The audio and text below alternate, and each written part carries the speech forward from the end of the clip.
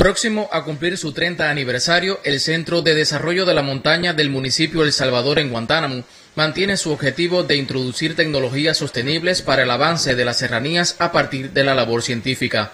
Creada el 3 de febrero de 1994 por el general de ejército Raúl Castro Ruz, la institución ejecuta actualmente seis proyectos, tres como gestora y tres como participante. Válido destacar el avance de las alternativas en el manejo agroecológico de enfermedades del cacao, con la utilización de la liquenobiota del macizo Nipesagua Baracoa, con la demostración de potencialidades y el patrón de distribución.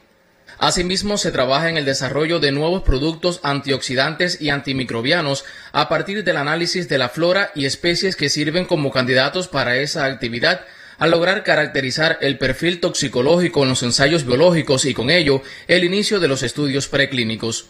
Desde el centro se impulsa la implementación de acciones para la restauración ecológica en sitios degradados en la zona semiárida de la provincia. Se estudia la comunidad de aves endémicas y migratorias que conviven en estos sitios, fundamentalmente en los cerezos y cajobabo del municipio Imías, con un total de 25 especies identificadas.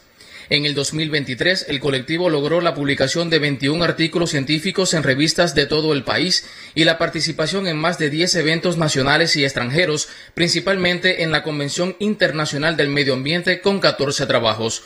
Uris Salvadmareño, Canal Cubano de Noticias.